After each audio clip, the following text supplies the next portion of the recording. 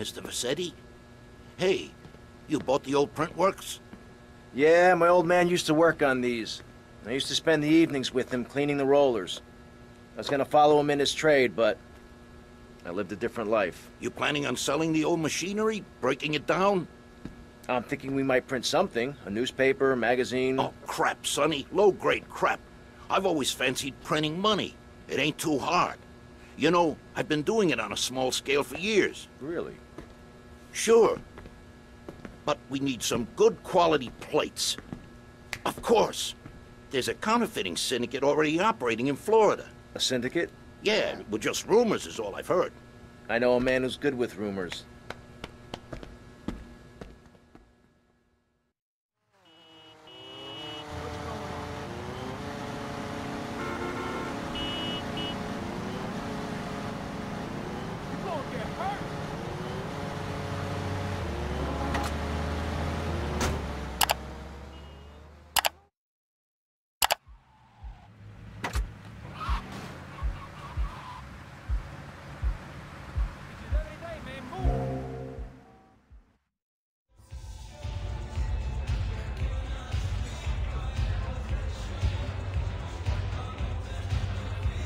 Look at the arse on that. all right, girls, you're lost, mate, innit? All right, me old China. How's hanging? What do you know about counterfeiting? Oh, I'm fine, Paul. How about you?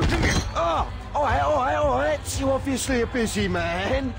All I know about Dodgy Reddies is to try and supply the plates. Ah, fuck. You know, they've got a shipping company down the docks. Ah, ah, the boss man would know when the plates are coming in next.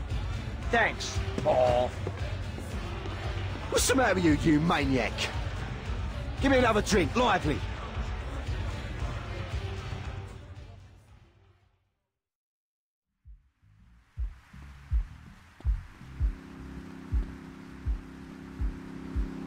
Out of my way, Chili Pepper.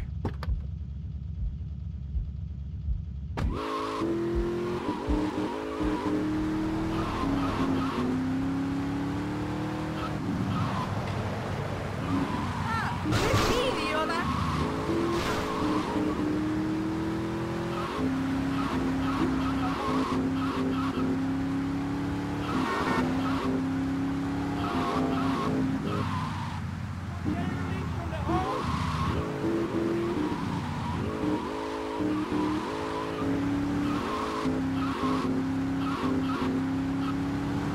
You crazy!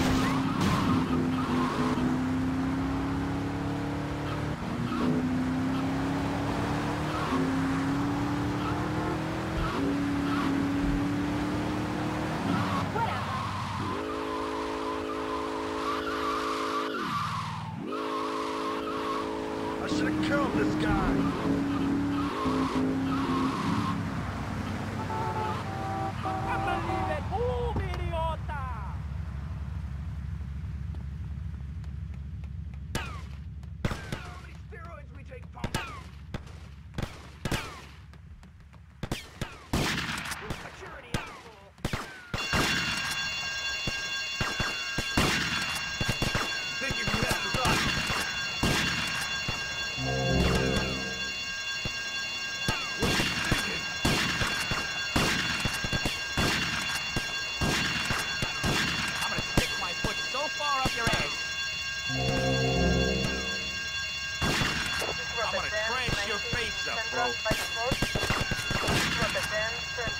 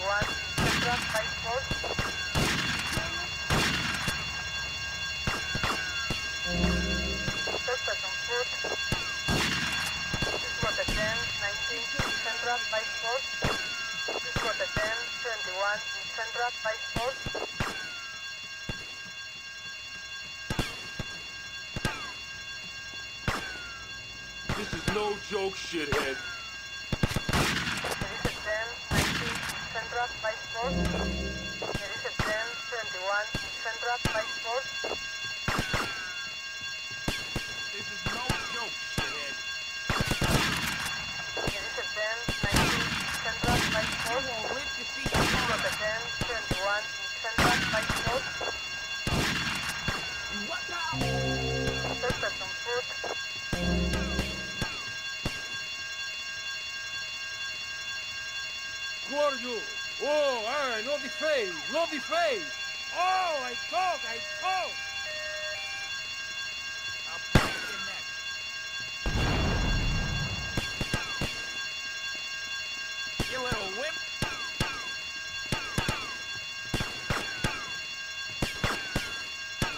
Oh man, you're a goner. Perfect.